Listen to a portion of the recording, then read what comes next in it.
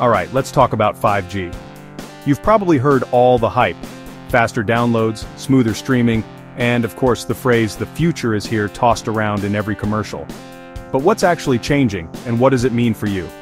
First off, 5G isn't just about making your TikTok scroll faster, it's a massive leap in how our devices connect, opening up possibilities that go way beyond your smartphone.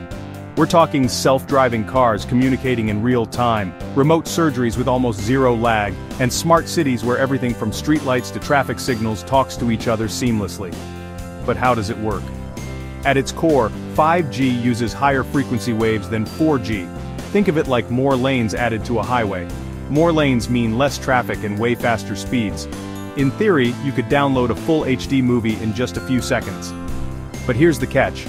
Those high-frequency waves don't travel as far and don't do well with obstacles like walls or trees. That means we need more small cell towers, a lot closer together, basically everywhere. Now let's address the elephant in the room. Is 5G everywhere yet? Not really. Some cities are decked out, but rural areas? They're still catching up. The rollout is a work in progress, and it'll take a few more years to see true nationwide coverage. So, what's actually next? The potential is wild, Imagine cloud gaming with no lag. Virtual reality that feels real because the connection is instant. Or factories where robots work in perfect sync thanks to zero-delay networks. Even stuff like wearable tech gets a huge upgrade. Think real-time health data sent straight to your doctor, no waiting. But it's not all smooth sailing. With every new tech, there are challenges. Security is a big one. More connected devices means more targets for hackers. And there's still a lot of work to make sure our privacy doesn't get left behind in the rush for speed.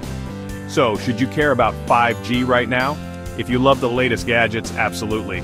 But the real revolution is just beginning.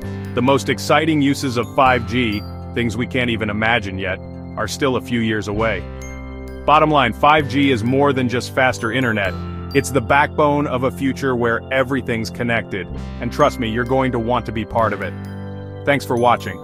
Don't forget to hit like if you learned something new, and subscribe for more tech deep dives right here.